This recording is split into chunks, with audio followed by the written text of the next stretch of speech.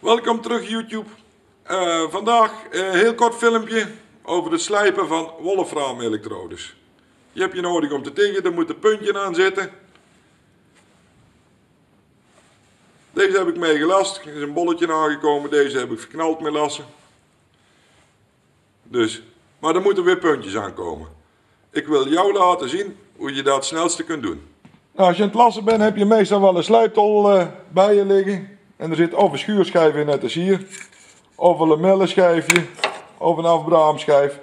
Maakt zoveel niet uit. Ze zijn allemaal goed. Kun je hem allemaal mee aanslijpen. Dan pak ik de boortol.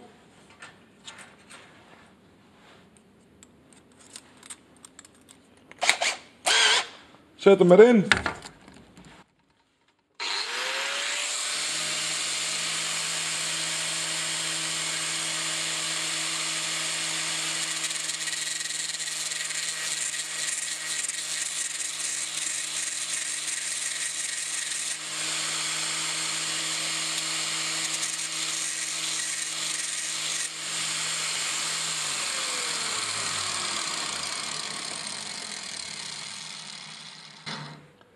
En je hebt er een mooi puntje aan geslepen.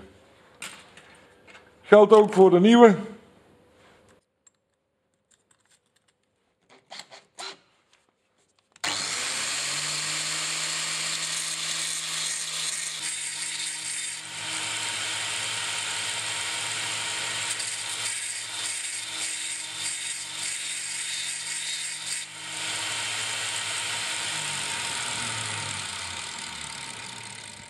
Kan natuurlijk ook vanaf de deze.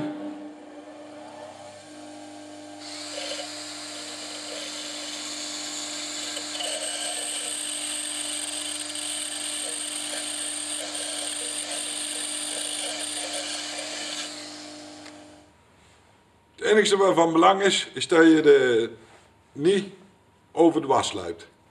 Dus altijd of zo eraf of zo. Dan maakt ze wel niet af, maar dat eh, de schuur en de slijpsporen recht met de elektroden meelopen. De hoek die je eraan geeft, dat bepaalt een beetje het beeld van de kegel die je eruit krijgt, van het smeltbad. Maar ik doe hem altijd zo, een beetje op het oog, hetzelfde hoekje. Daar las ik altijd mee, eh, met zo, is je vrij scherp. Ik weet niet hoeveel graden het precies is. Maar dan heb je een mooi klein smeltbad dat je goed kunt beheersen. Maak je hem vlakker, dan wordt het wat groter.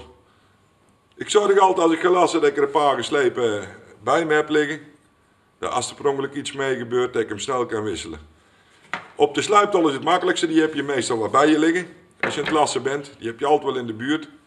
Zo'n tafelslijper, ja, die heb je niet altijd in de buurt. Dus ik doe het meestal op sluiptol, werkt gewoon goed. Met schroefmachine, heb ik geen schroefmachine bij, doe ik het gewoon met de hand. Lukt ook, Schroefmachientje is mooier, is makkelijker. Dus maar met de hand draaien is goed, als je er maar rekening mee houdt. Dat ze zo staan. De sluipsporen, de schuursporen, net hoe je het wil noemen. Die moeten met de draad meestaan. En niet dwars op de elektroden. Dat is het enige waar je echt goed op moet letten. Veel meer is er niet over te vertellen. Maar je moet altijd zorgen dat een mooi puntje begint. Komt altijd een klein kegeltje op. Als je aluminium las, wordt dat kegeltje nog wat groter. En vertrek je elektrode de cup in, dan heb je hem verkeerd omgepoeld zitten, dan verbrandt hij. Veel meer kan ik hier niet over vertellen.